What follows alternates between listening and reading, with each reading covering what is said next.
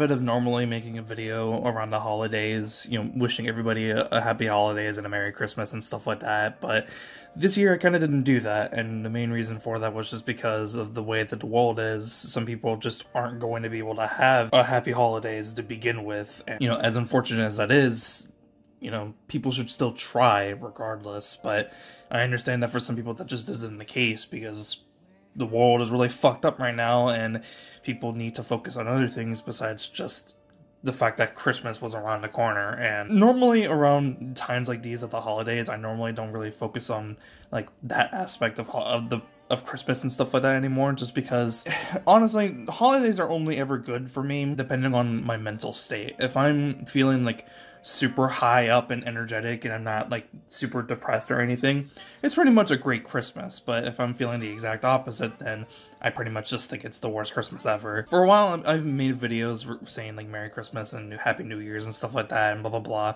I didn't do that this year just because, like I said, world is really fucked up and I didn't really think it was necessary for me to really say that. And so rather than saying Merry Christmas, especially because it's a day after Christmas, I'd rather just say good luck because who knows what's about to happen next year in 2021 and depending on what does end up happening some people are going to take it a certain way who knows what's going to happen like i said but hopefully it's better than what we got this year because this year might be one of the worst years for human history and we all need to try in our own ways to make it better next year in our own individual ways, but also within the ways of the human world as it is right now. Because like World War Three almost fucking started. Coronavirus was a thing that started a whole pandemic. People are acting a certain way towards each other. People are locking themselves inside of their houses. Some people can't financially support themselves because they're getting laid off of their jobs and stuff like that. This all needs to be fixed. Uh, there's so many other problems that I could list off right now, but that's not the point of the video. The point of the video, you know, in a way, is to say happy holidays, and I hope that they were good to you for those who were trying to celebrate and have a good time,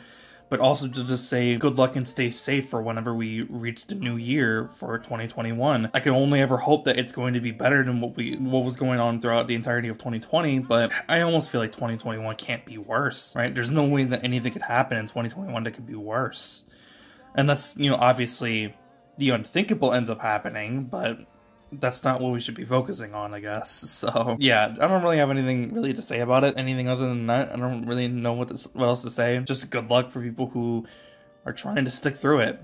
And my condolences obviously go out to people who have lost family. I've known a few people now that have actually gotten COVID and it was scary. It was really scary, especially considering that one of those people was myself. I got COVID earlier this year and I knew I was going to be fine because I wasn't you know, too ill, too sick to the point where I thought I had to go to the doctor, but it was still scary because the fact that I had gotten it and the fact that I live with my grandparents and the fact that they could have got, uh, contracted the virus as well, it it scared me and it made me realize that yeah, this is this is a huge fucking thing that's going on right now and we all need to do our part to make sure that this doesn't continue on any further. So yeah, that's kind of it. That's all I really have to say be careful. Good luck. Let's see you in 2020 or 2021. Sorry.